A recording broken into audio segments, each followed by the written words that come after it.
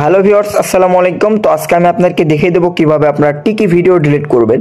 তো হয়তো দেখা যাচ্ছে আপনি যে কোনো আপনার পার্সোনাল ভিডিও বা যে কোনো ভিডিও আপনি হয়তো টিকি অ্যাপসে আপলোড করছেন, সেক্ষেত্রে হয়তো চাচ্ছেন যে আমি ভিডিওটা এখন ডিলিট করে দেবো। তো কীভাবে ডিলিট করবেন আপনি হয়তো পারছেন না। তো কীভাবে এখন ডিলিট করবেন এই টিকি অ্যাপসের ভিডিওগুলো তো আপনার ভিডিওগুলো আপনার কীভাবে ডিলিট করবেন? আজকের এই ভিডিওটির মাধ্যমে খুব সহজে আমি আপনাকে দেখিয়ে দেবো। তার জন্য আপনারা পুরো ভিডিওটি দেখবেন। তো টিকি অ্যাপস থেকে ভিডিও ডিলিট করার জন্য আপনাকে ফার্স্টে টিকি অ্যাপসটিতে একটা ক্লিক করতে হবে। তো আমি অ্যাপসটিতে ক্লিক করলাম ক্লিক করার সঙ্গে সঙ্গে আমাদের সামনে এরকম চলে আসবে। তো তারপরে এখান থেকে আপনার প্রোফাইলটিতে ক্লিক করবেন। তো ক্লিক করার পর আপনি যেগুলো ভিডিও আর কি আপলোড করছেন, তো আমি এখানে একটা ভিডিও আপলোড করছি, দেখতে পাচ্ছেন আপনারা। তো এই ভিডিওটা এখন আমি ডিলিট করব। তো আমি ভিডিওটার উপর ক্লিক করলাম।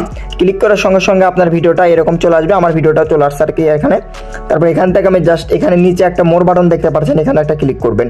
ক্লিক করার সঙ্গে সঙ্গে আপনাদের এখানে দেখতে পাচ্ছেন সেভ ডিলেট তারপরে হচ্ছে আপনার এইচডি আর হচ্ছে আপনার পাশেরটা ইয়ে আর কি। তো আপনি আপনি যেহেতু ডিলিট করবেন, সেক্ষেত্রে আর কি এখানে ডিলিট বাটনে একটা ক্লিক করবেন, তারপরে এখানে একটা ডিলিট করবেন। অটোমেটিক দেখেন আমার এখান থেকে কিন্তু ভিডিওটা ডিলিট হয়ে গেছে।